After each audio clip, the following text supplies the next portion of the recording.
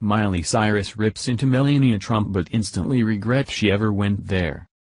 Why is it that usually repulsive female celebrities like Rosie O'Donnell, Joy Behar, Whoopi Goldberg, Kathy Griffin and Pop-Tart Miley Cyrus all have issues with our graceful and elegant First Lady?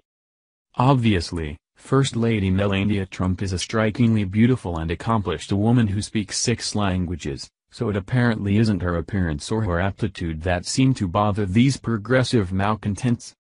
And perhaps to make a point as to how absurd the left has become especially among the celebrity class we have pencil-thin lizard-tongued Pop-Tart Miley Cyrus attempting to embarrass Italian dress designer Dolce & Gabbana for dressing and supporting the First Lady, despite the unprecedented meltdown by the fashion industry in their unbridled refusal to outfit the First Lady as some sort of protest.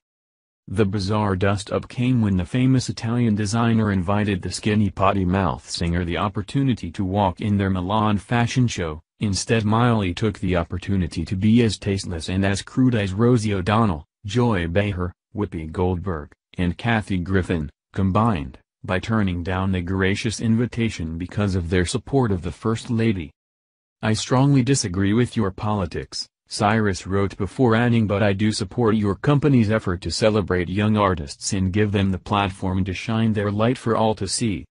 The Malibu singer's refusal comes after Dolce & Gabbana released shirts earlier this month making fun of those who boycott their brand for dressing First Lady Melania Trump. Moreover, Stefano Gabbana wasn't quite finished with String bean Cyrus firing back on Instagram saying, we are Italian and we don't care about politics or, American, politics. We make dresses and if you think about doing politics with a post it's simply ignorant. We don't need your posts or comments so next time please ignore us. Hash boycott Dolce Gabbana, he wrote.